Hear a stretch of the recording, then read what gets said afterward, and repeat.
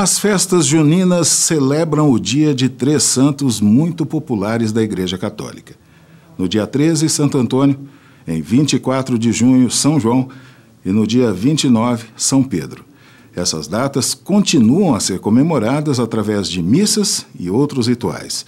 Mas aquela tradição centenária das quadrilhas, comidas e bebidas típicas, num cenário de muita música, cores e alegria, vai permanecer adiada por mais um ano.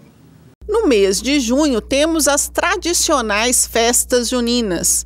Com a falta de eventos e os desafios trazidos pela pandemia, como está o mercado para esses produtos? O ano passado, como a pandemia estava já no auge, né, é, a gente vendeu muito pouco, a loja estava fechada, né, com as portas fechadas e vendendo pouco. Né, para esse ano a expectativa é maior. Já tem uma procura já de escolas, com, com a loja, né? Para a gente tá fazendo essa, essas vendas, né? A expectativa é muito grande. As festas se readequaram. Normalmente são pequenas comemorações, principalmente familiares.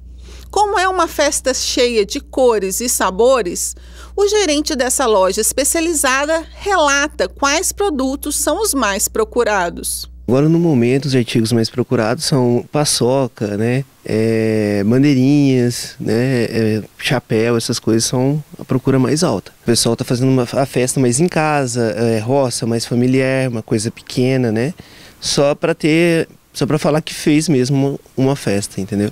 Com a atual situação, o estoque também foi reduzido, mas a expectativa é que no próximo ano as festas típicas sejam comemoradas com maior intensidade. A compra foi menor, né? Por causa da pandemia, não está dando para a gente comprar uma quantidade maior.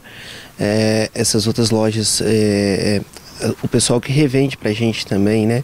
Então a gente tem que pedir o necessário, não muito. No estoque mesmo não temos nada. Então a gente espera que até o ano que vem a gente esteja bem, todos nós, né? Todas as lojas, todos os itens. E para quem deseja entrar no clima das festas juninas sem sair de casa, uma boa opção é acompanhar o projeto Quinta da Boa Música desta semana, que vai contar com o show da cantora Stephanie Nascimento. No repertório, clássicos do forró, baião, shot e ritmos nordestinos em releituras de grandes sucessos de Luiz Gonzaga, Alceu Valença, Clara Nunes e Fala Mansa.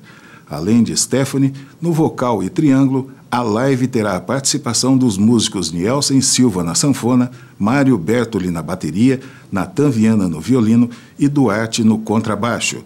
A apresentação é na quinta-feira, às 8 da noite, com transmissão ao vivo pelos canais de conteúdo da Fundação Cultural na internet ou através dos sites parceiros do projeto.